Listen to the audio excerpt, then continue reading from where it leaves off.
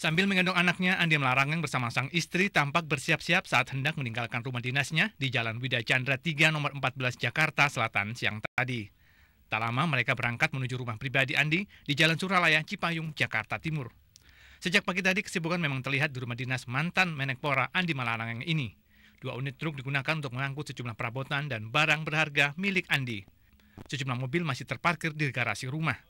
Sejumlah keluarga besar Andi memberi dukungan pada Andi. Iya Pak, gimana Pak?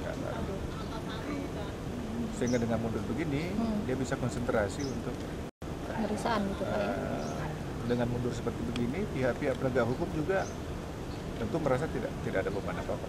Setelah resmi mengundurkan diri sebagai Menekpora, kini Andi Malarangang bersama keluarga kembali menempati rumah pribadi mereka. Ini terjadi setelah KPK menetapkan Andi Malarangang sebagai tersangka dalam kasus proyek Hambalang.